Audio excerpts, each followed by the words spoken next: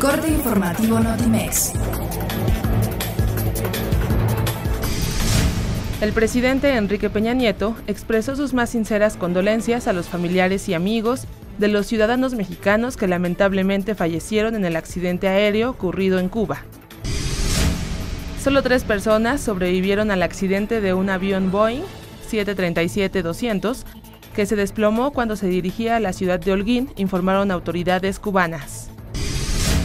El gobernador de Texas, Greg Abbott, informó que 10 personas murieron y otras 10 más resultaron lesionadas en el tiroteo registrado en la escuela preparatoria Santa Fe High School, en la comunidad de Santa Fe, al sureste de Houston. El gobernador del Banco de México, Alejandro Díaz de León, destacó que ya se tienen detectadas cientos de cuentas bancarias en donde posiblemente se depositaron los recursos hurtados tras el ciberataque que registraron diversas instituciones financieras. La seguridad en el poblado de Windsor se ha reforzado con unos 30.000 efectivos policiales desplegados en las calles. Esto a unas horas de la boda del príncipe Enrique y la actriz estadounidense Meghan Markle.